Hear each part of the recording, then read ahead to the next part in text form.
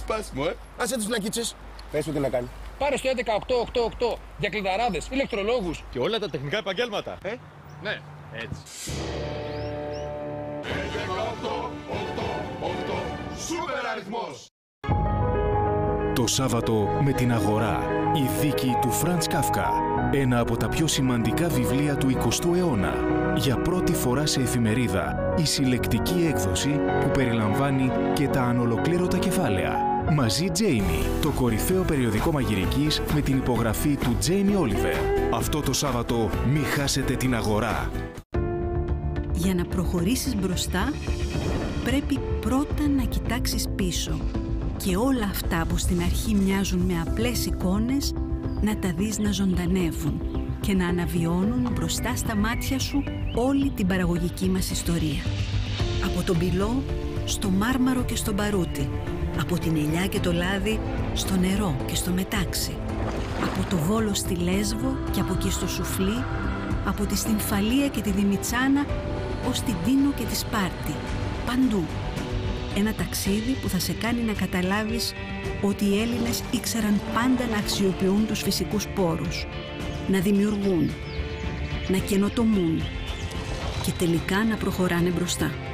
Αυτό το ταξίδι κάνουμε πάνω από 10 χρόνια τώρα στο Πολιτιστικό Ίδρυμα του Ομίλου Πυραιός.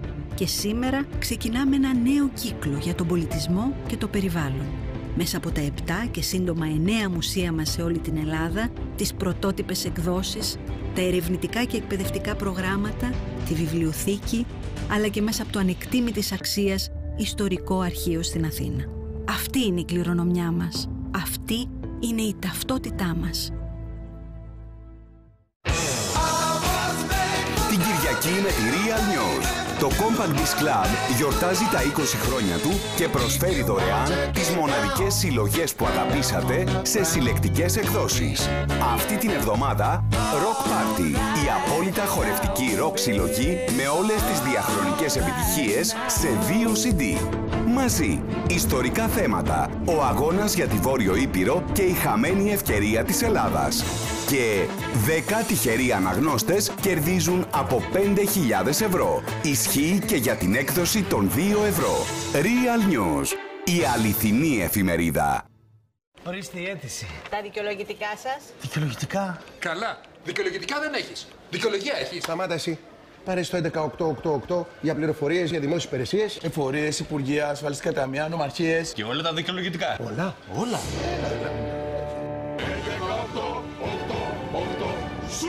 αριθμός.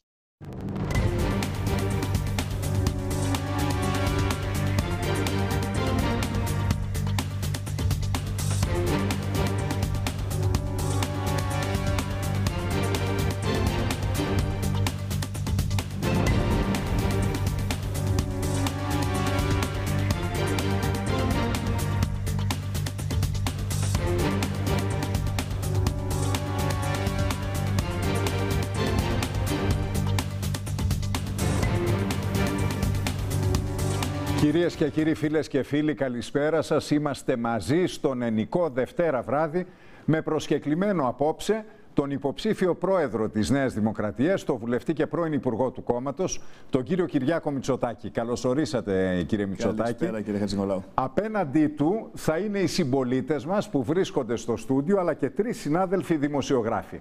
Η αρχισυντάκτρια του πολιτικού ρεπορτάζ της εφημερίδας Αγορά, αλλά και πολιτική σχολιάστρια του ΣΤΑΡ και Real FM, η Κάτια Μακρύ. Καλώς Καλησπέρα. ήρθες, ε, Κάτια.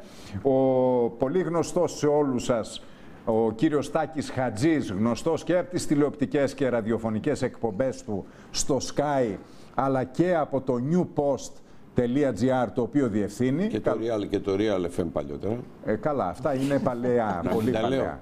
Λέω. Πολύ παλαιά, Τα να λέω. έρθεις στα πιο Τοξινά σύγχρονα. είναι, δεν είναι. Τώρα είσαι σε μεγάλα, Ναι, σε άλλα. ναι. σε μεγάλα καράβια. Σε άλλα.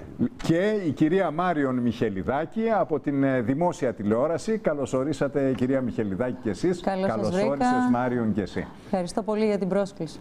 Τώρα, η, η ανάκριση εντός εισαγωγικών ξεκινά με ένα πολύ απλό ερώτημα, κύριε Μητσοτάκη. Το ερώτημα γιατί αποφασίσατε, πώς και γιατί; Αποφασίσατε να είστε υποψήφιος για την ηγεσία της Νέας Δημοκρατίας. Διότι πιστεύω, κύριε Χατζηνικολάου, ε, ότι έχω το σχέδιο ε, αλλά και τις δυνάμεις που απαιτούνται να αλλάξω ουσιαστικά τη Νέα Δημοκρατία, να την ανοίξω σε νέα πρόσωπα, σε νέες ιδέες, σε νέες διαδικασίες, έτσι ώστε να μπορέσουμε πάλι να συνομιλήσουμε με στρώματα κοινωνικά, με τα οποία δυστυχώς έχουμε πάρει διαζύγιο ε, τα τελευταία χρόνια. Η πραγματικότητα είναι ότι η Νέα Δημοκρατία βρίσκεται σε μια φθήνουσα τροχιά από το 2004 και μετά, παρά το γεγονός ότι καταφέραμε και κερδίσαμε ε, μια εκλογή το 2012. Το 2004 είχαμε πάρει 3,3 εκατομμύρια ψήφους συνολικά και το 2015 το Σεπτέμβριο πήραμε 1,5 εκατομμύριο. Έχουμε απολέσει δηλαδή το 60% της δύναμής μας. Γι' αυτό υπάρχει κάποια εξήγηση. Δεν έγινε από μόνο του. Πιστεύω ότι έχω τις απαντήσεις ε, στα ερωτήματα τα οποία θα τεθούν και από τους συμπολίτες μου για το τι πρέπει να αλλάξει η Νέα Δημοκρατία και πιστεύω ότι είμαι ο πιο κατάλληλος να την διευρύνει και να μιλήσει σε ψηφοφόρους που δεν την ε, υποστηρίζουν τα τελευταία χρόνια. Η Νέα Δημοκρατία θέλει το πιο ωραίο, ας πούμε, το πιο ψηλό, το πιο διαφορετικό σε αυτό το επίπεδο. Δεν θέλει να αλλάξει πολιτικές. Α πούμε, για παράδειγμα, στο ασφαλιστικό έχετε θέση για αυτά που συμβαίνουν τι τελευταίες μέρες. Η Νέα Δημοκρατία είναι το πρόβλημα για την κοινωνία, νομίζετε, ή η πολιτική που ασκείται κάθε φορά από τις κυβερνήσεις; Κύριε Χατζή, η Νέα Δημοκρατία είναι ένα κόμμα εξουσίας. Συγχωρείτε, κύριε Χατζή, Νικόλαο. Παρακαλώ. Είπε ότι... Όχι, έχετε εν λευκό κάρτα μπιάνκα σήμερα εντάξει, να διακόπτετε, να εντάξει, ρωτάτε. Απλώς Είμαι- αυτό ήθελα, έχω Είμαι, απορία. είμαι μάλλον και ο πιο ψηλός, βέβαια. Τώρα για το πιο ωραίο δεν ξέρω. Θα το Άρα κρίνετε. δεν φοβάστε και τον Θα το debate. κρίνετε, θα το κρίνετε, θα το κρίνετε εσείς. Εντάξει. Ε, κοιτάξτε, ε, κύριε Χατζή, ε, η Νέα Δημοκρατία εδώ και καιρό ε, έχει ουσιαστικά σταματήσει να παράγει εφαρμοσμένη πολιτική. Δηλαδή να έχει συγκεκριμένες θέσεις, προτάσεις και απόψεις, οι οποίες να ξεφεύγουν από το πλαίσιο των μνημονιακών πολιτικών, οι οποίες σε μεγάλο βαθμό είχαν καταστεί υποχρεωτικές τα τελευταία χρόνια. Αυτό πρέπει να αλλάξει και πρέπει να διορθωθεί.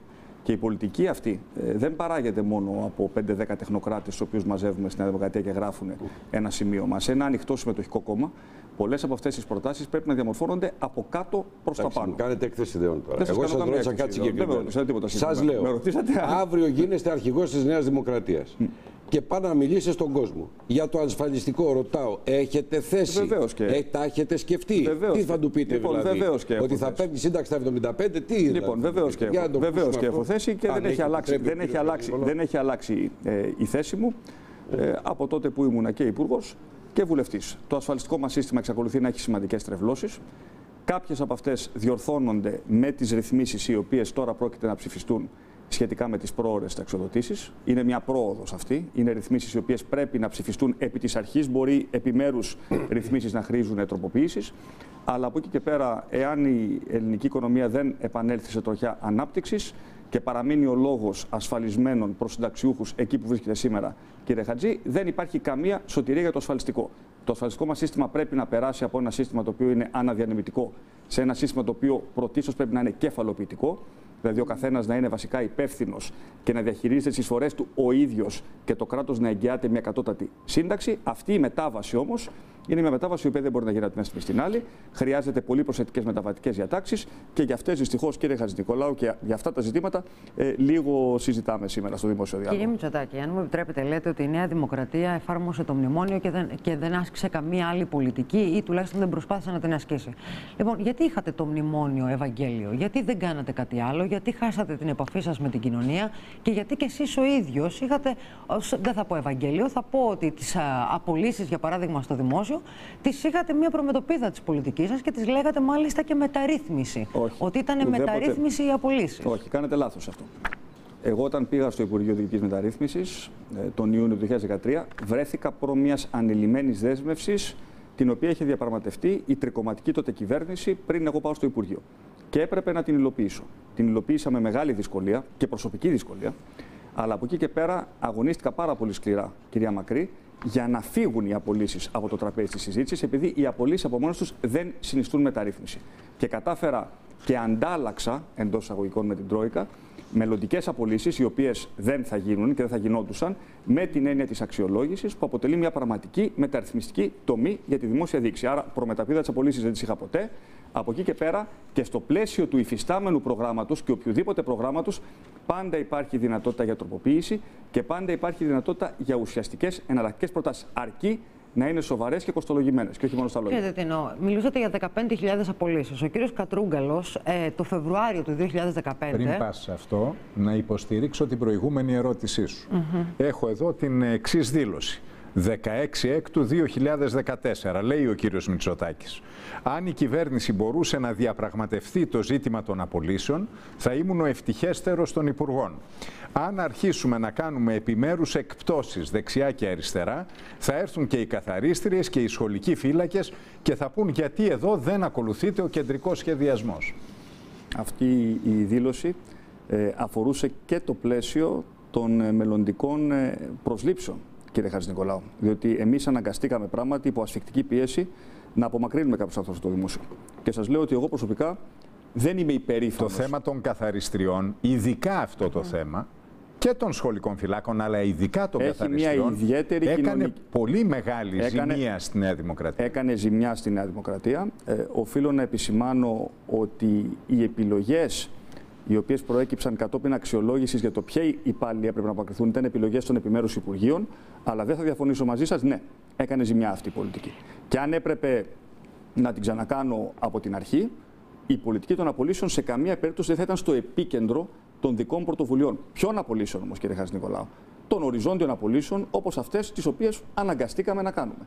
Όχι των απολύσεων των επίορκων, των πλαστών δικαιολογητικών, Καλά, των γι' αυτό δεν περιπτώσεων. συζητάει Α, όχι, μισό κανείς. λεπτό, όχι. Γι' Γιατί, αυτό δεν γιατί, το γιατί αυτοί συζητάμε, κύριε ακριβώ. Μητσοτάκη. Όχι, βεβαίως και το συζητάμε. Διότι ακριβώς αυτοί, κυρία Μακρύ, επέστρεψαν με το νόμο του κύριου Κατρούγκαλου ανάμεσα σε άλλους. Έτσι δεν είναι. Εγώ θέλω να πω κάτι Εσείς άλλο. δεν διώξατε μόνο Θα- αυτούς θα όμως, μου διώξατε επιτρέψετε- και άλλους. Κύριε Διώξατε συνάδελφε, και άλλους θα με μου το- με- με επιτρέψετε, συγχωρείτε, ναι, ναι, με Τάκη συγχωρείτε, μου, με συγχωρείτε. μισό Με- λεπτό με το απλώς. ότι πρέπει Να να- οργανω- οργανωθείτε πρέπει να λίγο, μιλώ- οργανωθείτε να όμως κλείνουμε λίγο. το κράτος μας, δεν Έχετε να κλείνουμε δίκιο. το κράτος. Εγώ λοιπόν επιμείνω λίγο στην ερώτηση για το θέμα των απολύσεων. Γιατί έκανε ο κύριος Κατρούγκαλος, ο διάδοχός σας στο Υπουργείο, το Φο- Φεβρουάριο, στον κύριο Χατζηνικολάου, στον Real FM, μία συνέντευξη και είπε: Από το δημόσιο τελικά έφυγαν 1065. Ποτέ δεν έφυγαν 15.000. Πολύ φασαρία για το τίποτα. Και θέλω Άρα, να σας άρα, ρωτήσω. άρα και μπλέκομαι θέλω- λίγο. Γιατί, γιατί κατηγορούμε τότε; όχι, να σας πω κάτι γιατί κατηγορείστε. Τώρα εξαρτάται από ποια πλευρά. Δεν κατηγορείστε καταρχήν, σας ρωτάμε. Γιατί Εγώ λοιπόν κατηγορούμε θέλω να πολιτικά. ρωτήσω, Ναι. αν τελικά φύγανε 1065, μήπως ήταν πάρα πολύ μεγάλο το πολιτικό κόστος που αναλάβατε. Και ένα δεύτερο σκέλος. Μήπως τελικά π- ξεκινήσατε να κάνετε κάτι και δεν το κάνατε. Δεν το ολοκληρώσατε. Αν ο στόχος σας ήταν 15.000, δεν το ολοκληρώσατε. Δεν, έφυγαν. μπορέσατε να το κάνετε. Δεν Κοιτάξτε. ήσασταν τόσο αποτελεσματικός. Γι' αυτό τώρα σας λέω. και θα Γι' προσθέσω αυτό σας εγώ. λέω την ερώτηση από δύο σκέλη, από δύο πλευρές την κάνει κανείς. και θα προσθέσω, αλλά θα κάνουμε μια μικρή διακοπή. Πρέπει να πάμε σε ένα διαφημιστικό διάλειμμα για να απαντήσετε συνολικά μετά. Θα προσθέσω οι καθαρίστριες ήταν το κεντρικό ζήτημα του ελληνικού δημοσίου. Θέλω να πω εδώ υπάρχει μια βουλή για την οποία βοά το Πανελλήνιο, για τον τρόπο με τον οποίο γίνονται οι προσλήψεις, για το πόσο προσωπικό έχει και για το τι αμοιβές υπάρχουν εκεί. Αλλά εκεί κανείς δεν πειράζει. Διότι λέτε προφανώς εκεί, Α, όχι. διότι Θα- προφανώς θα σας το- εκεί θα μου τα θα πείτε σας τα πω τώρα. μετά. Διότι προφανώς εκεί είναι οι φίλοι, οι γνωστοί, οι κολλητοί των Θα βουλευτών. σας τα πω μετά το διάλειμμα. Μικρή διακοπή, επανερχόμαστε.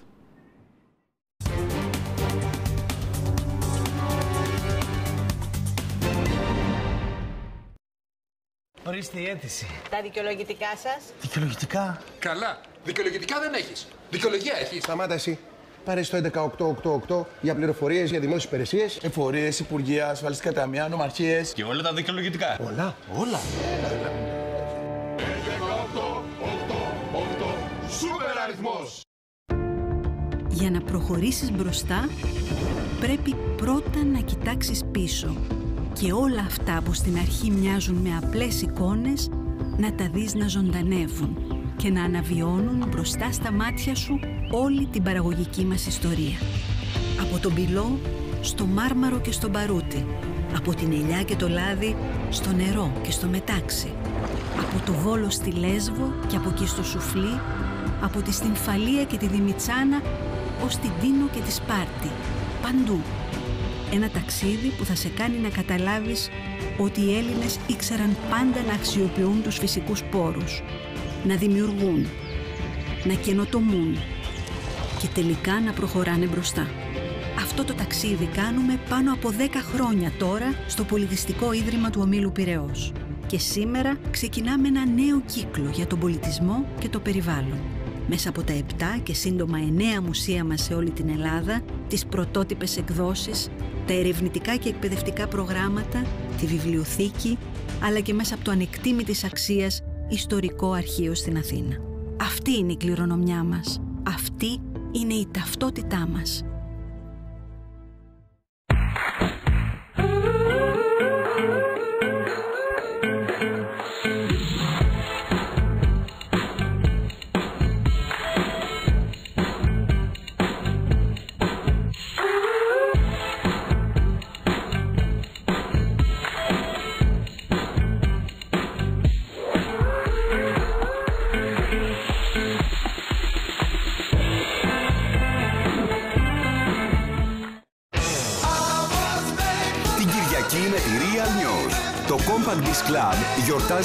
Χρόνια του και προσφέρει δωρεάν τις μοναδικές συλλογές που αγαπήσατε σε συλλεκτικές εκδόσεις.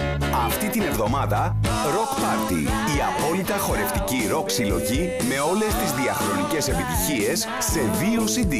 Μαζί, ιστορικά θέματα, ο αγώνας για τη Βόρειο Ήπειρο και η χαμένη ευκαιρία της Ελλάδας. Και 10 τυχεροί αναγνώστες κερδίζουν από 5.000 ευρώ. Ισχύει και για την έκδοση των 2 ευρώ. Real News, η αληθινή εφημερίδα. Για να προχωρήσεις μπροστά, πρέπει πρώτα να κοιτάξεις πίσω και όλα αυτά που στην αρχή μοιάζουν με απλές εικόνες να τα δεις να ζωντανεύουν και να αναβιώνουν μπροστά στα μάτια σου όλη την παραγωγική μας ιστορία. Από τον πυλό στο μάρμαρο και στο μπαρούτι, από την ελιά και το λάδι στο νερό και στο μετάξι, από το Βόλο στη Λέσβο και από εκεί στο Σουφλί, από τη Στυμφαλία και τη Δημητσάνα ως την Τίνο και τη Σπάρτη, παντού.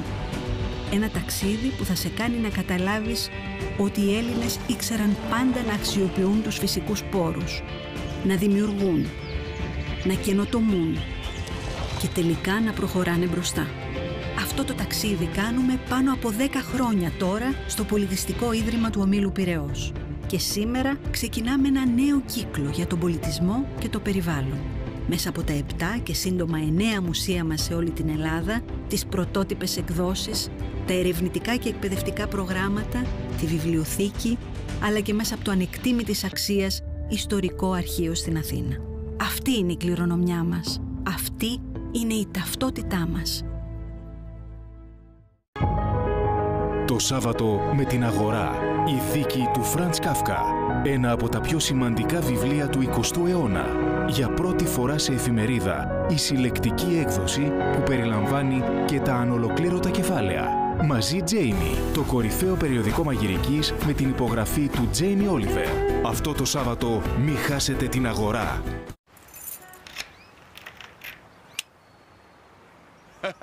Σπάσιμο, ε. Άσε τις βλακίτσες. Πες του τι να κάνει. Πάρε στο 11888 για κλειδαράδες, ηλεκτρολόγους. Και όλα τα τεχνικά επαγγέλματα. Ε, Ναι, έτσι. 11888 Σούπερ αριθμός.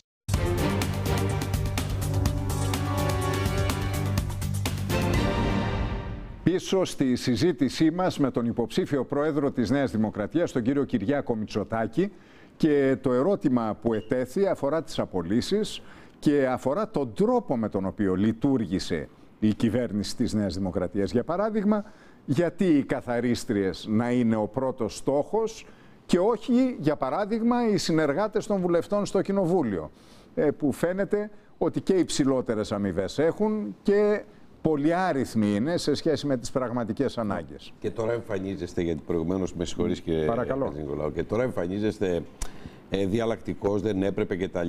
Που είστε υποψήφιος αρχηγός της Νέας Δημοκρατίας. Τότε που ε, φόβωναζε όλος ο κόσμος και ερχόσατε για έξω από το γραφείο σας και βάζατε αντίστοιχα. Ε, δεν, δεν έχετε, μισό λεπτό, δεν έχετε παρακολουθήσει αυτά τα οποία έλεγα τότε, κύριε Α, με Χατζη. συγχωρείτε. Λοιπόν, Να εγώ μας τα είπα, εξηγήσετε, είπα- εγώ όχι, να δεν σας τα έχω. εξηγήσω, γι' αυτό είμαι εδώ. Ναι, ναι. Είχα πει ξεκάθαρα ότι κλήθηκα να υλοποιήσω μια πολιτική δύσκολη και είχα εξηγήσει στην Τρόικα ότι με αριθμητικούς στόχους απολύσεων το πρόβλημα του δημοσίου δεν λύνεται.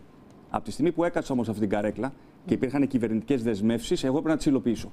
Και έκανα το καλύτερο το οποίο μπορούσα να μην υπάρχουν άλλοι ποσοτικοί στόχοι απολύσεων. Είμαι σαφής. Ναι. Νομίζω ξεκάθαρα. Δεν τις έκανα ούτε με την καρδιά μου ούτε με κέφι. Λοιπόν, να το ξεκαθαρίσουμε αυτό. Και πέρασα και αρκετά βράδια πολύ δύσκολα Γιατί δεν είναι εύκολο να διώχνεις οποιονδήποτε σήμερα. σε αυτή τη είχατε πει συγκυρία. αυτό, το θυμάμαι. Λοιπόν, απλά για να το ξεκαθαρίσουμε αυτό ως προς την ε, συναισθηματική ανάμειξη με ένα ζήτημα το οποίο πραγματικά ήταν πάρα πολύ δύσκολο. Με ρωτήσατε λοιπόν, κύριε Χατζηνικολάου, γιατί όχι συνεργάτες των ε, Για υπουργών παράδειγμα. ή Για παράδειγμα. προνόμια ενδεχομένως τα οποία μπορεί να υπάρχουν στη Δηλαδή η Βουλή. αίσθηση που υπάρχει γενικά, κύριε είναι ότι Υπουργέ, υπήρχε μια αδικία. είναι ότι, ότι το πολιτικό σύστημα δεν πειράζει ποτέ τον εαυτό του. Ναι. Λοιπόν, ότι ακόμη για και πάμε. τώρα που ακούσαμε σήμερα τον κύριο Βούτσι να λέει, να μιλάει για μειώσεις Λοιπόν, στις αμοιβές για των πάμε- βουλευτών, πάμε μιλάει λοιπόν- για 10%. Για πάμε λοιπόν να το δούμε αυτό. Εγώ το 2010 ε, είχα στείλει μια επιστολή σε όλους τους συναδέλφου βουλευτές που τους ζητούσα τότε να περικόψουμε από μόνοι μα τα προνόμια των βουλευτών. Αυτοκίνητα, Αυτό είναι αλήθεια. επιδόματα, το έκανα μόνος. Αυτό είναι αλήθεια. Λοιπόν, προκάλεσα την οργή των συναδέλφων, επειδή προφανώς είπα πράγματα τα οποία ήταν δυσάρεστα.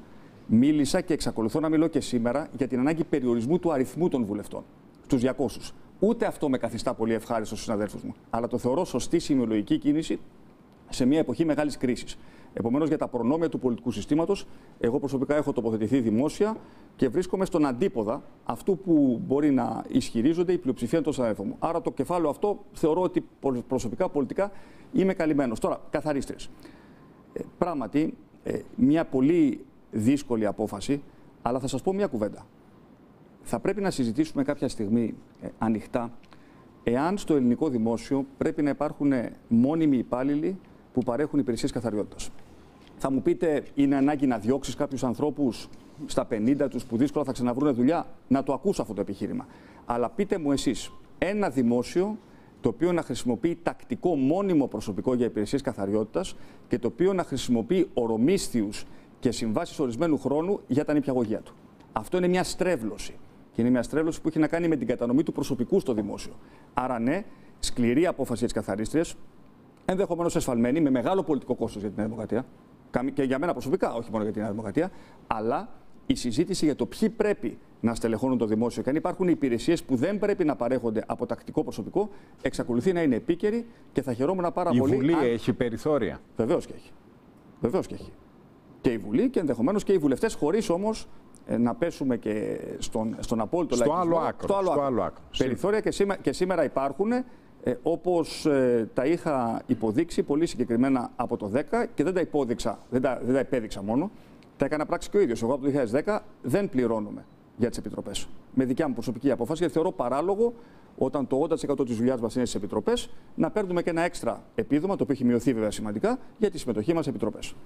Η κυρία Μιχελιδάκη. Παρ' όλα αυτά, εγώ θα ήθελα να ρωτήσω τον κύριο Μητσοτάκη, επειδή καλός ή κακό και έτσι και από αυτά που είπε τώρα, από τη μία λέει ότι η μεταρρυθμίσεις, ε, μεταρρύθμιση δεν είναι οι απολύσεις, όμως κλήθηκε να υλοποιήσει μία δέσμευση όσον αφορά σε αυτές τις απολύσεις. Αλλά θα ήθελα πραγματικά να τον ρωτήσω, γιατί καλός ή κακός έχει συνδεθεί στο ότι α, κάπου έχει υπηρετήσει αυτή την πολύ σκληρή πολιτική του μνημονίου, εάν αυτά τα χρόνια που έχουμε περάσει, τα έξι χρόνια αυτή τη στιγμή, έχουν βοηθήσει το δημόσιο, όλες αυτές οι κινήσεις πραγματικά να εξηγιανθεί, να μπορέσει να αποτελέσει έτσι, α, να γίνει πιο α, εύκολο στην, α, για τον πολίτη, α, να μπορεί να εξυπηρετηθεί καλύτερα και μάλιστα και σε πολύ νευραλγικούς τομείς, όπως είναι η υγεία ή η παιδεία, που τα έχουν ξεχαρβαλωθεί τελείως, αν μου επιτρέπετε η έκφραση, τα σχολεία και δεν νομίζω ότι αυτό είναι αποτέλεσμα μόνο των έξι μηνών διακυβέρνησης του ΣΥΡΙΖΑ, ανοίγουν με τεράστια κενά και κάποια δεν κατορθώνουν να ανοίγουν στους πρώτους μήνες. Γιατί ανοίξανε, γιατί, Στην γιατί υγεία, ανοίξανε αν μου πέρυσι; επιτρέπετε να το ολοκληρώσω, θα απαντήσετε. Στην υγεία, εδώ τις τελευταίες μέρες δίνεται, από ό,τι έχω καταλάβει, έτσι μια, ένας αγώνας για να δουν πώς θα συνεχίζουν να λειτουργούν οι ΜΕΘ, οι μονάδες θετικής θεραπείας, διότι οι νοσηλεύτριες και οι νοσηλευτές έχουν λήξει οι συμβάσεις τους, που νομίζω ότι ήταν και μέσα στις δικές σας, έτσι, ε, στο δικό σας έργο, να περιοριστούν οι συμβάσεις ε, ορισμένου Ορισμένου χρόνου. χρόνου. Ε, αλλά και αυτοί οι άνθρωποι εμπίπτουν εκεί και είναι πολύ σημαντική η παρουσία τους, κύριε Μητσοτάκη. Θεωρείτε λοιπόν ότι έξι χρόνια μετά, και επειδή μνημόνιο έχουμε και παραπέρα, και αν μπείτε και στο κεφάλι της, κεφαλή της Νέας Δημοκρατίας, ενδεχομένως μιλάμε ότι κάποια στιγμή θα ξαναγίνετε πρωθυπουργός. Ε, εάν αυτή η πολιτική μας έχει βοηθήσει κάπου. Μισό αν λεπτό, έχει να- να εξηγιανθεί δούμε- το δημόσιο συγκεκριμένα, Να- αυτό λοιπόν, που συζητάμε. Ε, είναι πάρα πολύ άδικο μια συνολική πολιτική μεταρρύθμιση να εστιάζεται μόνο σε απολύσεις. Λοιπόν, η πολιτική την οποία εγώ ακολούθησα ήταν πολύ πιο συνολική και πολύ πιο ουσιαστική. Καταρχάς, το κόστος του δημοσίου μισθοδοσία δημοσίων υπαλλήλων περιορίστηκε από τα 24 δισεκατομμύρια στα 15,5. Και αν δεν είχε γίνει αυτός ο περιορισμός μέσα σε πέντε χρόνια, δεν θα είχε επιτευχθεί σε καμία περίπτωση η εξυγένση των δημόσιων οικονομικών. Διότι το κράτος, κύριε Χατζηγολάου, χρεοκόπησε από το δημόσιο. Αυτή είναι η σκληρή Παρ' πραγματικότητα. όλα αυτά, κύριε Να Μητσοτάκη, τελειώσω, μια να- μικρή να τελειώσω αναστασία, μια επειδή σας έχω ακούσει να λέτε ότι α, από αυτή την. α, Από το επιτρέψτε μου όμως μάζεμα να- της δαπάνης στο δημόσιο είχαμε Επιτρέψτε μου να ολοκληρώσω πρωτογενή. τη σκέψη Ναι, μου. μόνο Τη αυτό. σκέψη μου. Τότε δεν θα Ναι. είχατε την ανάγκη να επιβάλλετε πάλι έμφυα. Λοιπόν, να τα πάρουμε ένα-ένα. Ναι. Το σημαντικό μάζεμα των δαπανών στο δημόσιο ήταν μονόδρομος. Όμως το πρόβλημα του δημοσίου δεν είναι μόνο πρόβλημα δαπανών.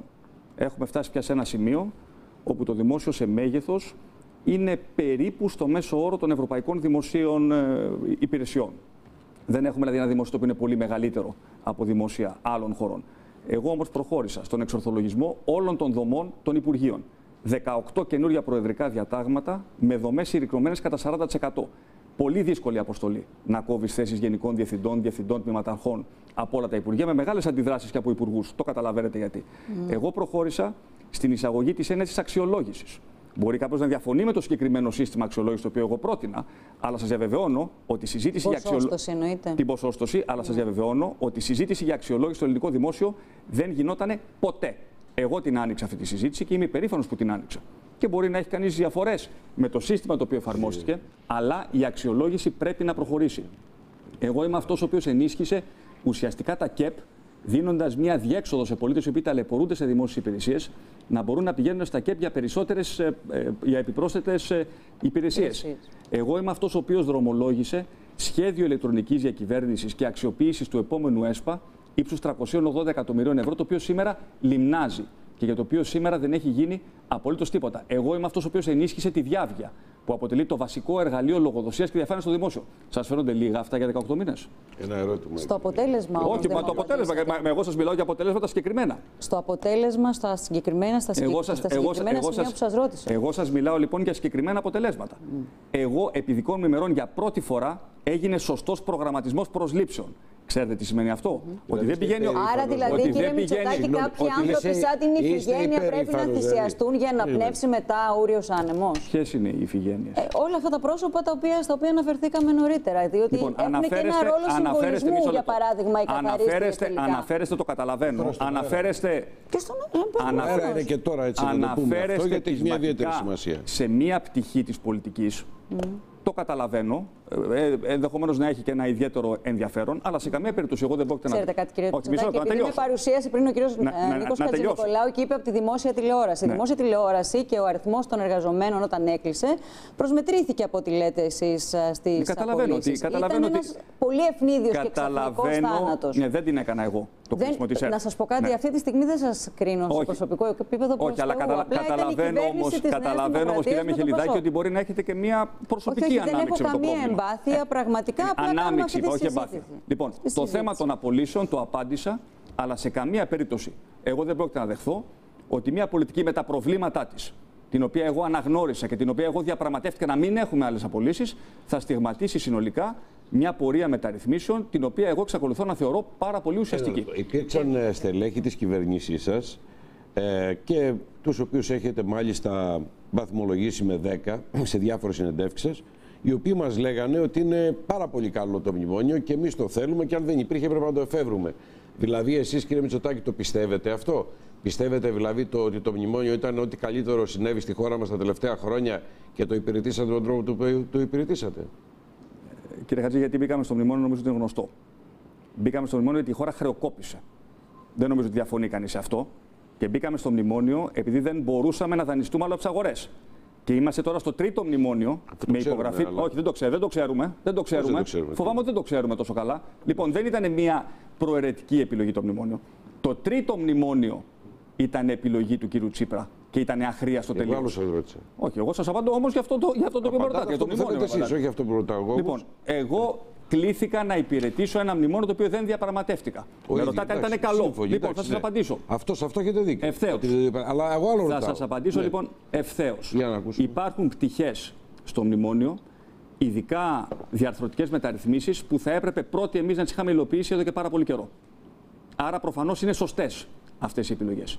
Υπάρχουν και άλλες επιλογές, όπως το μείγμα δημοσιονομικής πολιτικής που δίνει πολύ μεγάλη έμφαση σε αύξηση φόρων και λιγότερη έμφαση σε περιστολή δαπανών, με το οποίο διαφωνώ ε, ο, Κύριε οριζόντια, Μητσοτάκη, κάθετα και διαγώνια. Τι, τι βαθμό ευθύνης έχει το εγχώριο πολιτικό σύστημα, περιλαμβάνω και τη Νέα Δημοκρατία βεβαίως, στο, στο γεγονός ότι το μνημόνιο αυτό ήρθε σε συσκευασία δώρου εντός πολλών εισαγωγικών από το εξωτερικό. Για ότι ποιο- δηλαδή... Για ποιο, για ποιο από τα τρία μιλάτε. Και για τα τρία. Ναι. Ότι δηλαδή εμείς όλα αυτά τα 5-6 χρόνια ε, μετά το ξέσπασμα της κρίσης δεν καταφέραμε να φτιάξουμε ένα δικό μας σχέδιο και να πείσουμε την Ευρώπη ότι αυτό το σχέδιο ανταποκρίνεται στις πραγματικές ανάγκες της χώρας. Βεβαίως και υπάρχει ευθύνη. Συνολικά από το πολιτικό σύστημα. Και από όλες τις κυβερνήσεις. Τι θα αλλάξει αν γίνετε αρχηγός της Νέας Δημοκρατίας; Καταρχάς, Τι θα αλλάξει σε αυτό, δηλαδή θέλω να- έχετε, θέλω να- έχετε προτάσεις. Θέλω να- Παράδειγμα λέω, σας άκουσα πριν να λέτε, διαφωνώ με την πολιτική φόρη, φόρη, φόρη, πρέπει κάπου να μαζέψουμε τις δαπάνες του κράτους.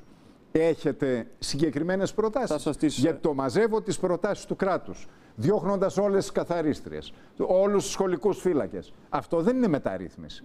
Θα με συγχωρήσετε Δεν να ήτανε- πω ότι είναι εύκολη λύση ε, αυτή η οποία επελέγει τότε από την τρικοματική κυβέρνηση και την οποία βρεθήκατε εσείς να εφαρμόζετε και τα ακούτε ακόμα.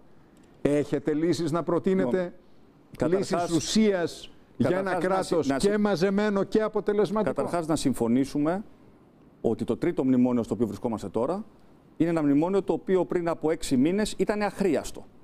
Και την ευθύνη των... Αυτό δεν το ξέρουμε. Αυτό το, είναι Αυτό δικιά το μου άποψη. ισχυρίζεται η παράταξή Είναι δικιά σας. μου άποψη. Το ισχυρίζεται Είναι η δικιά μου παράταξή άποψη. σας. Λοιπόν. Αλλά η παράταξή σας ισχυριζόταν ότι θα φύγει το Διεθνές Νομισματικό Η δι- Ταμείο η δικιά από μας- το πρόγραμμα. η δι- το η ισχυριζόταν δικιά ο μας κύριος παράταξη- Σαμαράς. η δικιά μας- Ισχυριζόταν ότι θα μπούμε στην πιστοληπτική γραμμή. Ναι. Ισχυριζόταν ότι έχουμε μόνο το mail χαρδούβελη. Αλλά αυτά ποτέ mail- δεν επιβεβαιώθηκαν το mail- το mail γιατί χαρδούβελη- δεν συμφώνησε η απέναντι πλευρά. Το, δηλαδή mail, οι το mail δανειστές. χαρδούβελη ύψους ενός δισεκατομμύριων μέτρων. Για έξι μήνες.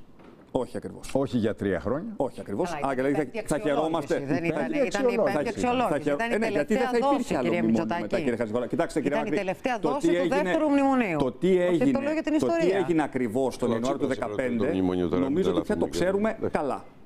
Η μεγαλύτερη πολιτική εξαπάτηση. Πάντως εγώ το βλέπω είδαμε ότι στην όποιος πορεία. προαναγγέλει εξαφάνιση του μνημονίου Βρίσκεται με- εξαφανίζεται ο ίδιος. Όχι, βρίσκεται με. Έτσι είδα. Εδώ, εγώ. Ναι, όποιος- εδώ, ναι, βρέθη- αλήθεια. εδώ βρεθήκαμε με τρίτο. Τώρα μνημόνιο. περιμένουμε τον Ο τελευταίο. κ. Τσίπρας δεν να- εξαφανίστηκε Σίγουρα. μεν, αλλά διαπραγματεύτηκε ο ίδιος το τρίτο μνημόνιο, το οποίο ο ίδιος ισχυριζόταν θα σκίσει. Λοιπόν, αυτό είναι μια πολιτική απάτη τεκμηριωμένη. Οι πολίτες μπορεί να μην την ε, είδανε Εσείς με αυτόν τον πήγατε τρόπο. ωραία, ωραία και το ψηφίσατε. Τι να ωραία. τελειώσω όμως, κύριε Ωραία Χατζη. ατμόσφαιρα. Να τελειώσω, γιατί είναι λίγο, είναι λίγο, είναι λίγο άδικο Του να μην έχουμε μπορώ να κάνει πέντε ολοκληρώσω την- ερωτήσεις τη και δεν σκέψη. έχει απαντήσει. Είμαστε και περισσότεροι από Λοιπόν, εσάς, είστε και λίγο εντάξει. περισσότεροι, οπότε αφήστε με να ολοκληρώσω τη Εντάξει, σκέψη. σωστό. Λοιπόν, Είμαστε τρεις και με νέοι. ρωτήσατε αν υπάρχουν εναλλακτικές προτάσεις περικοπής δαπανών. Έχω καταθέσει μια σειρά από αυτές, πάρα πολύ τεκμηριωμένα. Παραδείγματος χάρη. Και σήμερα ακόμα το ελληνικό δημόσιο πληρώνει 600 εκατομμύρια ε, υποστήριξη του Ταμείου Ασφαλισμένων της ΔΕΗ. Είναι ένα ποσό το οποίο κατά την άποψή μου είναι υπερβολικό. Απορρέει από μια συμφωνία που έκανε το ελληνικό δημόσιο με την επιχείρηση το 2000 και θα πρέπει να επανεξεταστεί. Και σήμερα ακόμα υπάρχουν στο μισθολόγιο των δημοσίων υπαλλήλων στρεβλώσεις που δεν το καθιστούν ενιαίο. Υπάρχουν δηλαδή υπάλληλοι οι οποίοι παίρνουν περισσότερα λεφτά με τα ίδια προσόντα για παρεμφερή δουλειά. Είναι στρεβλώσεις οι οποίες μπορούν να διορθω- να διορθωθούν. Και σήμερα ακόμα στην τοπική αυτοδιοίκηση, επειδή δεν έχει γίνει πλήρης αξιολόγηση δομών, υπάρχει περιθώριο συμμαζέματος δομών αν καταλήξουμε τι υπηρεσίες πρέπει να παρέχουν οι Δήμοι και πόσους εργαζόμενους πρέπει να έχουν.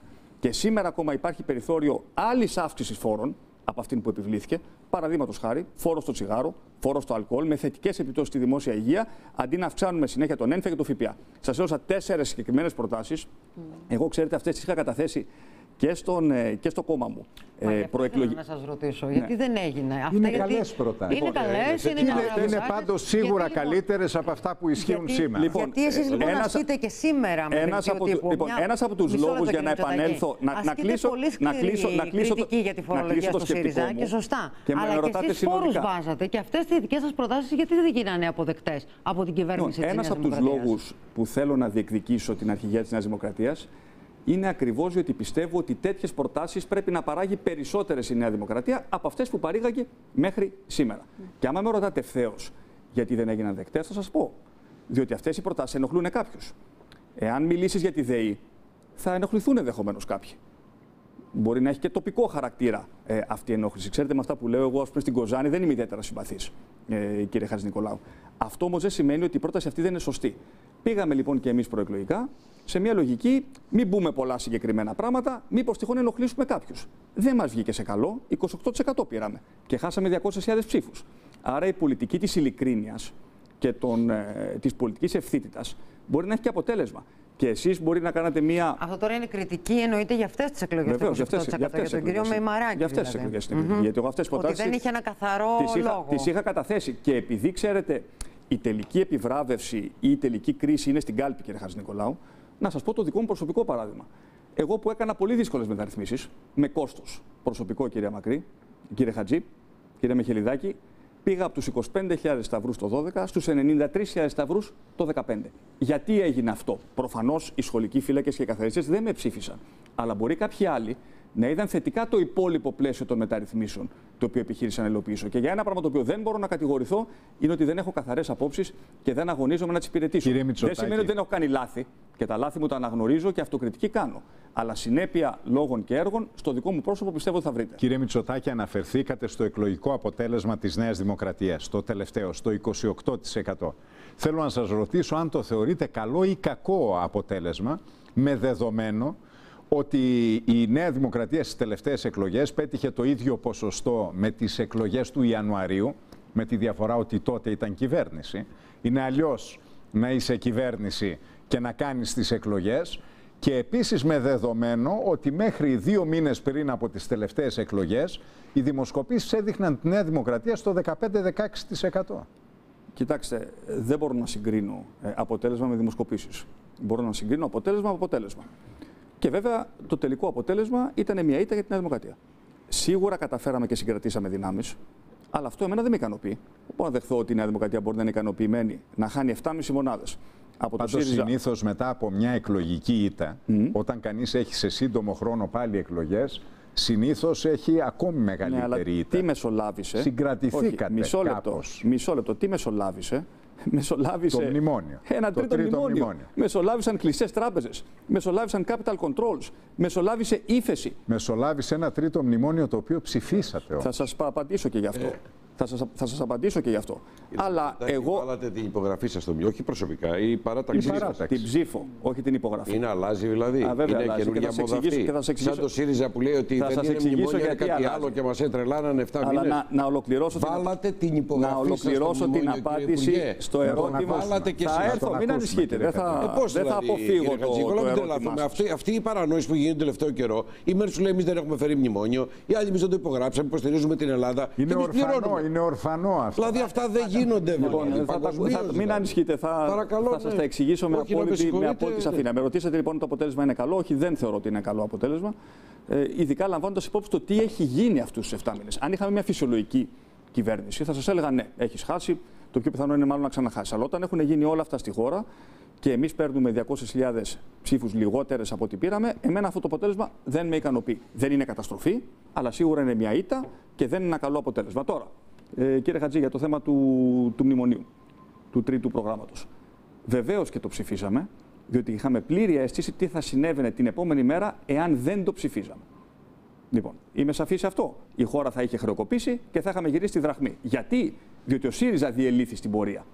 Εμείς Πήγατε κρατήσα... στις εκλογές και εμείς πατώσατε. κρατήσαμε τη χώρα Μεγάλο όρθια. λέω, δηλαδή. Εμείς κρατήσαμε τη χώρα όρθια και δεν μετανιώνω για αυτή την επιλογή. Άρα Ούτε συμφωνείς, τη... συμφωνείτε και με τον κύριο Μεμαράκη περί συνεργασίας και συνένεσης όσα, όσα έλεγε προεκλογικά; Γιατί κάποιοι Έχω- από το δικό σας χώρο από την αρχή Από την- θεωρούσαν ότι είναι σφαλμένη Να τα τακτική. πάρουμε όμω ένα-ένα. Ναι. Να, τα πάρουμε, να, να τελειώσουμε λίγο με το, με το θέμα του, του Το μνημονίου. υπογράψατε, λέω, αυτό εκεί λοιπόν, είχαμε από μείνει, εκεί και ναι. πέρα.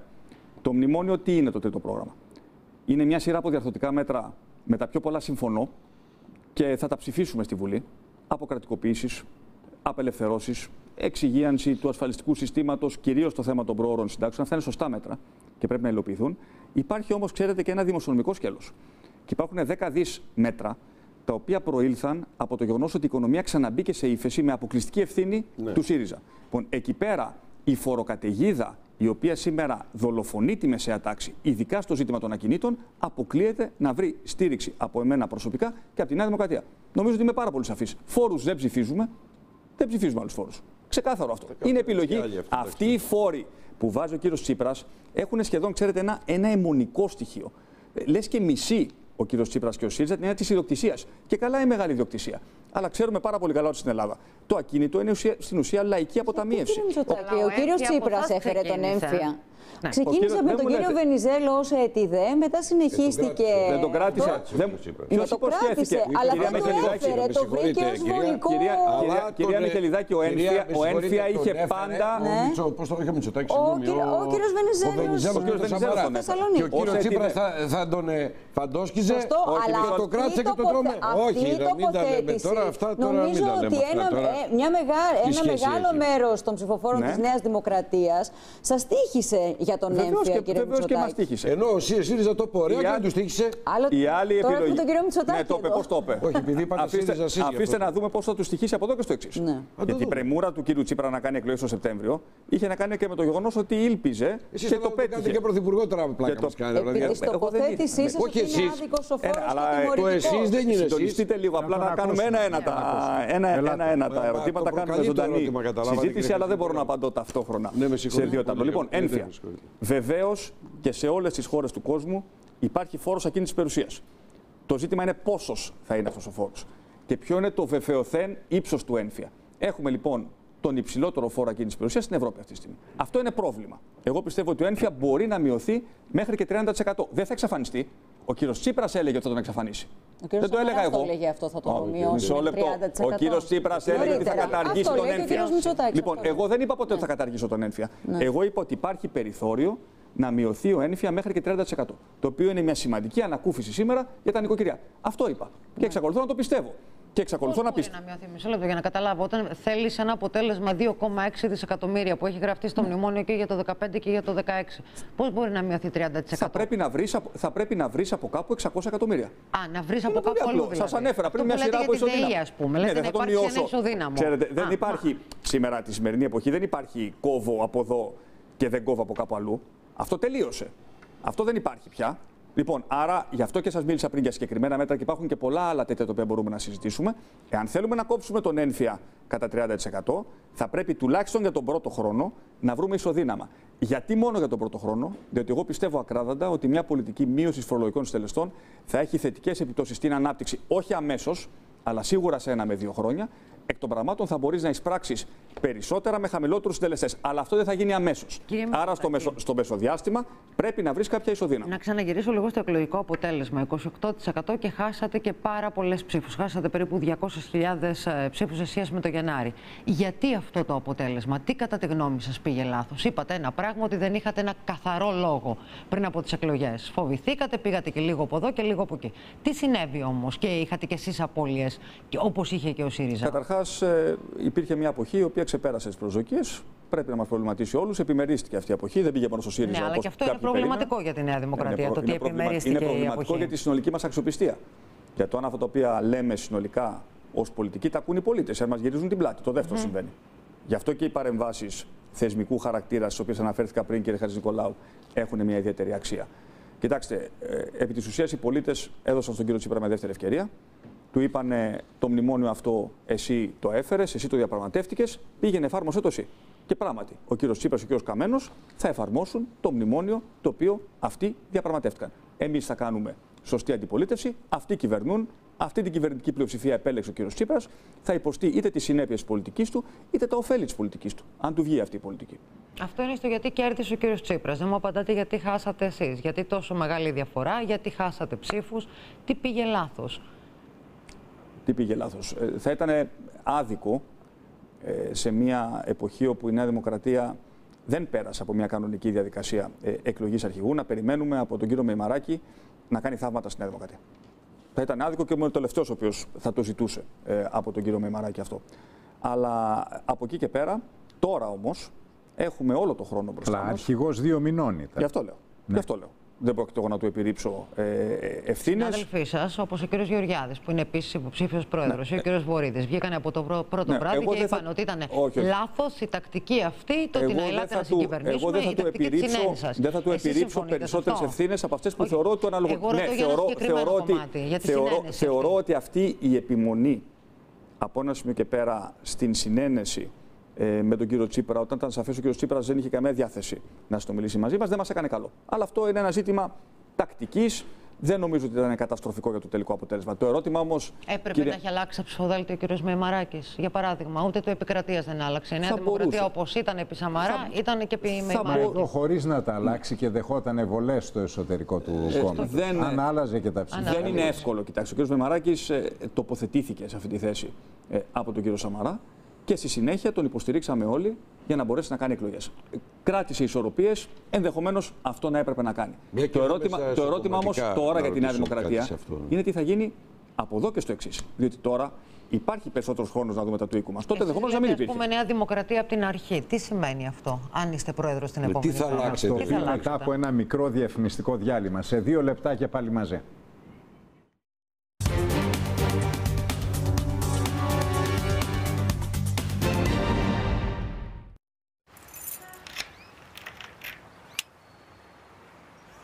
Σπάσιμο, ε. Άσε τους λακίτσες. Πες του τι να κάνεις. Πάρε στο 11888 για κλειδαράδες, ηλεκτρολόγους. Και όλα τα τεχνικά επαγγέλματα. Ε, ναι, έτσι. 11888 Σούπερ αριθμός.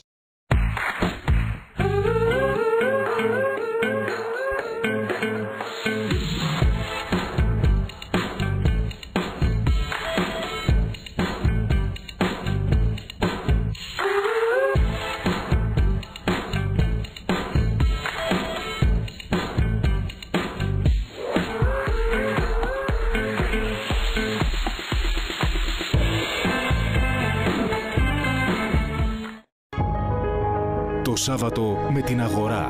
Η δίκη του Φραντς Κάφκα. Ένα από τα πιο σημαντικά βιβλία του 20ου αιώνα. Για πρώτη φορά σε εφημερίδα, η συλλεκτική έκδοση που περιλαμβάνει και τα ανολοκλήρωτα κεφάλαια.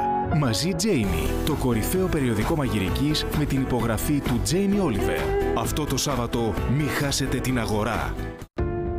Για να προχωρήσεις μπροστά, πρέπει πρώτα να κοιτάξεις πίσω και όλα αυτά που στην αρχή μοιάζουν με απλές εικόνες να τα δεις να ζωντανεύουν και να αναβιώνουν μπροστά στα μάτια σου όλη την παραγωγική μας ιστορία.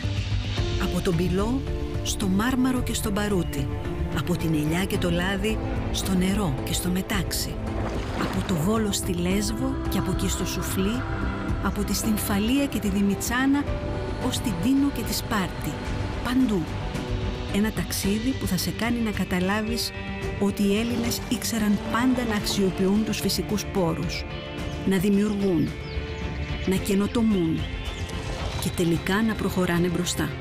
Αυτό το ταξίδι κάνουμε πάνω από 10 χρόνια τώρα στο Πολιτιστικό Ίδρυμα του Ομίλου Πυραιός. Και σήμερα ξεκινάμε ένα νέο κύκλο για τον πολιτισμό και το περιβάλλον μέσα από τα 7 και σύντομα 9 μουσεία μας σε όλη την Ελλάδα, τις πρωτότυπες εκδόσεις, τα ερευνητικά και εκπαιδευτικά προγράμματα, τη βιβλιοθήκη, αλλά και μέσα από το ανεκτήμητης αξίας ιστορικό αρχείο στην Αθήνα. Αυτή είναι η κληρονομιά μας. Αυτή είναι η ταυτότητά μας. Αυτό δεν είναι ένα ξενοδοχείο. Είναι το φρουριό σου. Αυτή δεν είναι σερβιτόροι, δεν είναι μάγειρες, δεν είναι καμαριέρες. Είναι ο στρατός σου. Αυτά δεν είναι βαν, δεν είναι αυτοκίνητα, δεν είναι μηχανάκια. Είναι το υπηκό σου. Αυτή δεν είναι μια μικρή επιχείρηση. Είναι το βασίλειό σου.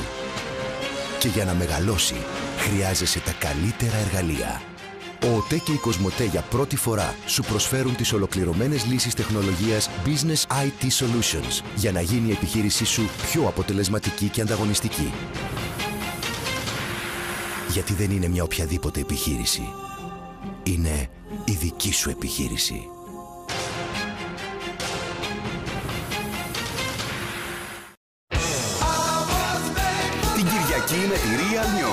Το Compact Disc Club γιορτάζει τα 20 χρόνια του και προσφέρει δωρεάν τις μοναδικές συλλογές που αγαπήσατε σε συλλεκτικές εκδόσεις. Αυτή την εβδομάδα Rock Party, η απόλυτα χορευτική ροκ συλλογή με όλες τις διαχρονικές επιτυχίες σε δύο CD. Μαζί, ιστορικά θέματα, ο αγώνας για τη Βόρειο Ήπειρο και η χαμένη ευκαιρία της Ελλάδας.